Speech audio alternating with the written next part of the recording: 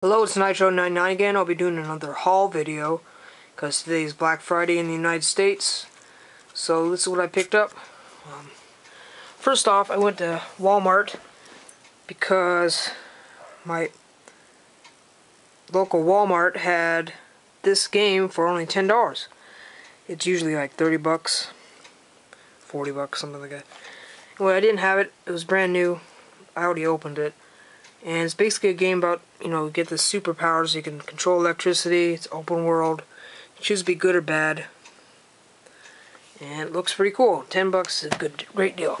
Next, I got went to Toys R Us, and I got the new Lego City Police sets, the the Pharaoh's Quest set, and little Impulse set, the Imperial Speeder Bike.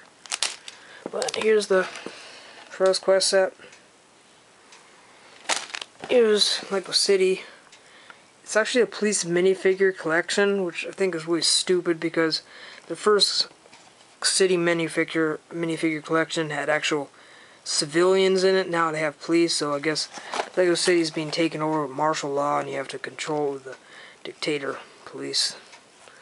It's really dumb. And this set cost ten bucks. I thought it was only be it would be one of those five dollar sets, but it's a minifigure collection, so now it's ten bucks.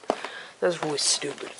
This set's pretty cool, but it's $13 even for 96 pieces, but you get the new dog. It's a German Shepherd dog, because that's what police have. But you could use for anything. Policeman, and a neat looking little truck. This set's the $20 set, and this probably really, it's really stupid too, because, I mean, prison prisoner transport, but the guy is trying to cap capture the prisoner on his bicycle using a prisoner transport van.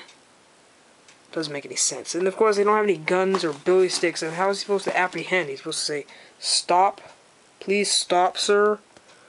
I don't know. It's, uh, it looked pretty dumb. But I'm gonna review it because people keep asking me to review Lego City I mean, city sets, and even though I don't like them, I mean, these always get lots of views because people like Lego City.